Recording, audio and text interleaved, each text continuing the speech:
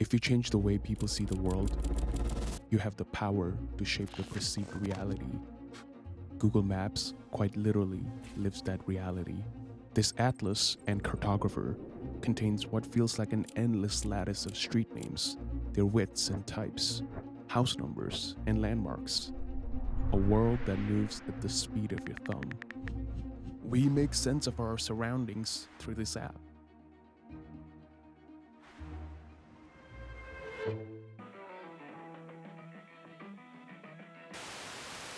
I like seeing what things exist in my city that I haven't seen before. I want to check out parking spots and menus before I go to the restaurant. I look at ratings and I read reviews before I book my stay. But this is not just me. Over 1 billion people use Google Maps every month, and this is the most downloaded navigation app in the world. It is so popular that we take it for granted. That expectation comes in a way from how the interface feels so natural now that most of us have stopped noticing it altogether. Yet the design of this simple map app is anything but accidental. Its color palette, font sizes, the thickness of its borders, Google Maps didn't derive it from the long traditions of cartography. Every element has been prototyped, debated, and tested until it fit neatly into our mental model Google wants us to hold. Those choices do more than steer commuters through traffic. They subtly craft our perception of distance, importance, and geopolitical reality.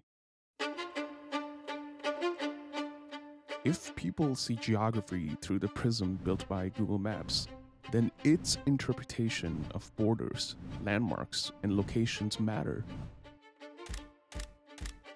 Critiques mark that the boundary between map and marketplace is eroding. What feels like a free atlas, accessible to all, is slowly turning into a social media. Suggestions page has turned into a For You page based on your search and interaction history.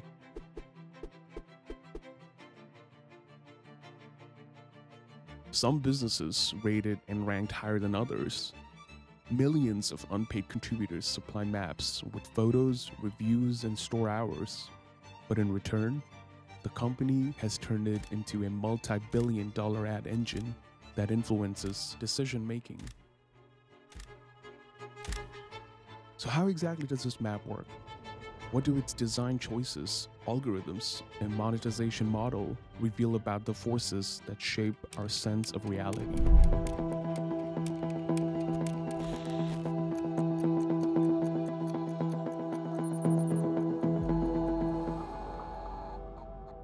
Picture the planet balanced on a single tile.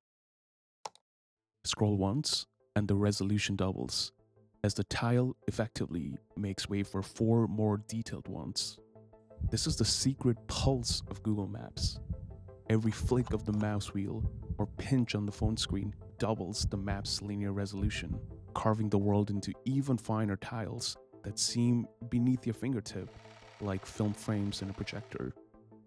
So, a way to visualize Google Maps is like a tile pyramid, where each zoom level multiplies the number of tiles by 4 and so on. Google Maps ensures labels and icons don't overlap by first imagining an invisible grid laid over the screen. Each feature, like a street name or a point of interest, has a priority, so the most important ones get placed first. When adding a label, the engine checks its proposed placement against that grid.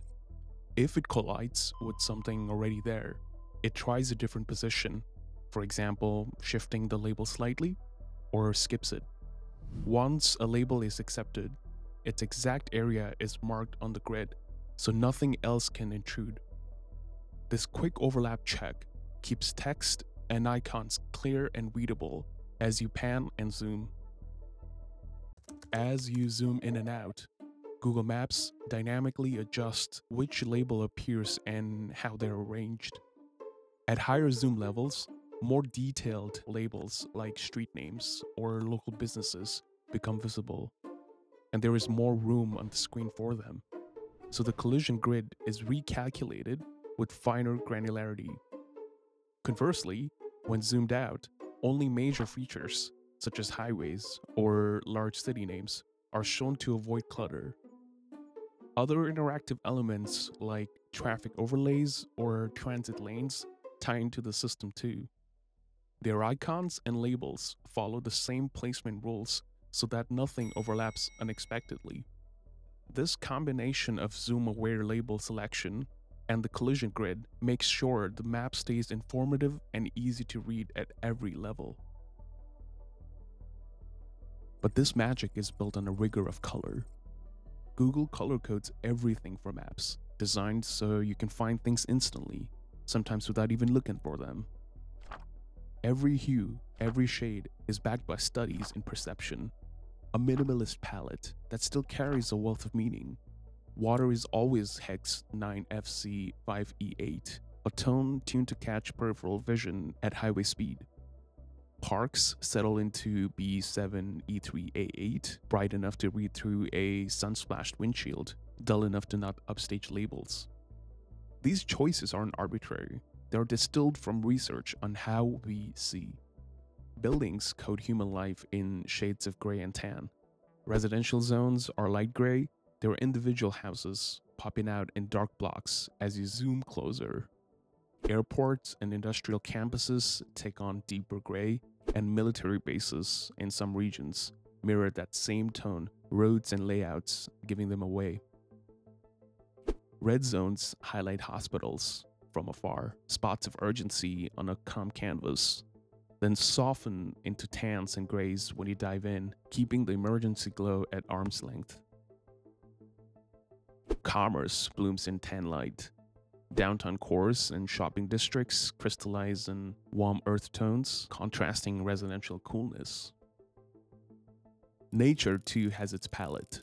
Beaches in dark tan, rivers in sky blue, deserts and mountains in spectrum of browns Google calls natural sand or shrub. Two main greens split public parks from reserved wilderness.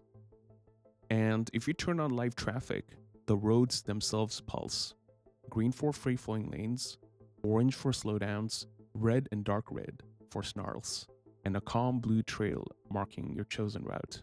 Behind every scroll and pinch, a tile pyramid is being manipulated. Clarity is the philosophy. Cognitive load must stay low.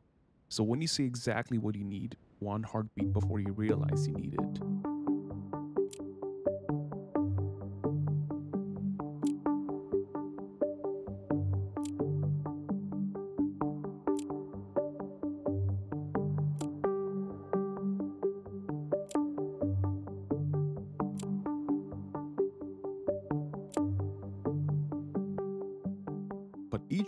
Carries a value judgment. What you notice, what fades away, how the world is framed in light and shadow. In a product that constantly reinterprets the globe, color is carefully calibrated to merge what is real and what remains virtual. Since its inception two decades ago, Google Maps has quietly evolved into one of the largest social media platforms on the planet. What began as a straightforward navigation tool now hinges on its local guides community. Over 120 million individuals worldwide who contribute reviews, photos, and edits in exchange for points, badges, and early feature access. Like a feed on Instagram or Yelp, Google Maps surfaces the freshest user generated content at just the right moment. Swipe down a restaurant listing to see recent dining snapshots, or tap on a shop pin to read the latest review from someone who was there yesterday. These contributions are the lifeblood of the platform's relevance and richness. Yet the work remains unpaid and often uncredited beyond a tiny badge next to the reviewer's name. Google Maps isn't a philanthropic endeavor. It has turned that volunteer driven tapestry into cold hard cash. In 2023, Maps generated an estimated 11.1 billion in revenue, with 82% coming from location-based advertising, promoted pins, sponsored search results, and display banners embedded in the map canvas. Contributors supply the photographs, ratings, and local knowledge. Google packages it all into ad products that command premium rates from businesses eager to reach potential customers at the point of discovery. The result is a classic two sided market. Guides provide free content and data, while advertisers foot the bill, yet only Google reaps the financial upside. That imbalance carries real world consequences. Business owners can challenge negative reviews through automated systems, sometimes triggering removal that skew the public record and erode trust in crowdsourced insights. On the user side, studies have shown how anonymized location data, even from innocuous check ins, can be re identified to reveal home and work addresses, raising the specter of stalking, discrimination, and target surveillance. Volunteers may upload sensitive images or inadvertently expose patterns in their movements, unaware that every pin dropped and photo snapped feeds into Google's broader profile of their habits and routines. We've also saw a lot of consolidation of power and concentration of power. Uh, the D Justice Department right now has a lawsuit against Google for basically making a whole set of acquisitions that they allege have now monopolized the digital ad tech suite in ways that is now really harming publishers and advertisers alike. This ad driven architecture has drawn antitrust scrutiny. In April 2025, a federal court ruled that Google's dominance in digital advertising technology, of which Maps is a linchpin, amounts to an illegal monopoly under the Sherman Act. The judgment highlighted how Google leverages user contributions and location data to tighten up its grip on the ad market, squeezing out rivals and dictating terms to publishers and advertisers alike. For millions of contributors, Google Maps is a shared canvas, and yet the profits, the policies, and the data controls lie firmly in Alphabet's hands. As regulators circle and communities explore open alternatives, the central question remains can a single corporation sustain the commons it did not pay for? Or who does the map's future belong to? The owner or the laborer who built it together? Maps have always been political documents.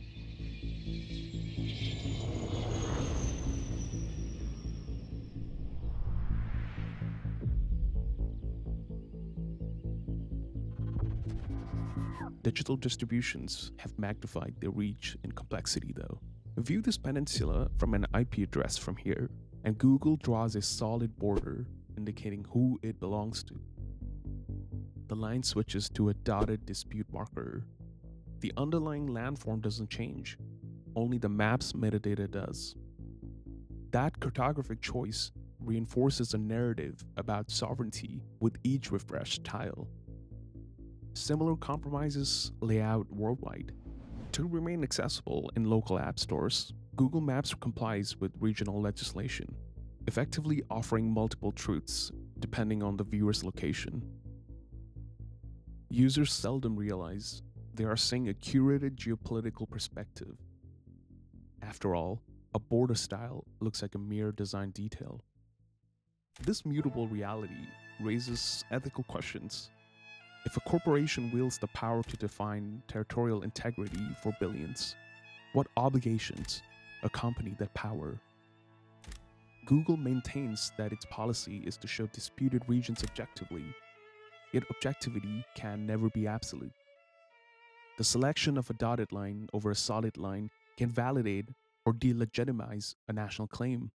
Some scholars argue that such decisions belong in the realm of international diplomacy, not private product roadmaps. But until a global standard emerges, the invisible hand of UI designers and legal teams will continue shaping nationhood one pixel at a time. With Immersive View, Google has started rendering entire cities as photorealistic 3D experiences. User can glide along Tokyo's elevated expressways, watch real-time traffic beneath translucent overpasses, and glimpse dynamic weather effects rolling across rooftops. The result feels closer to a flight simulator than a flat map. Behind the scenes, the company stitches satellite imagery, photogrammetry, and AI generated textures into a persistent model and ambitious data that could fuel urban planning simulations, autonomous vehicle routing, or augmented reality applications none of us can yet imagine. As location based advertising expands, another layer of influence emerges. A sponsor pin can now appear above organic search results, nudging foot traffic towards brands that pay for the privilege. Critiques mark that the boundary between map and marketplace is eroding. If commercial interests shape what roads look like, what happened to the commons, the ideological contest over who owns the representation of space, governments, corporations, or communities is only intensifying. Google Maps is useful, it is important, it is also free, and it is most widely adopted for navigation, business, and third party apps. I love using it in my free time, looking at the streets and billboards around the world. It has been a success story, and most of its services are useful to average citizens. But it is also a for profit mission. So things you see might have two meanings, and I don't know where the line is.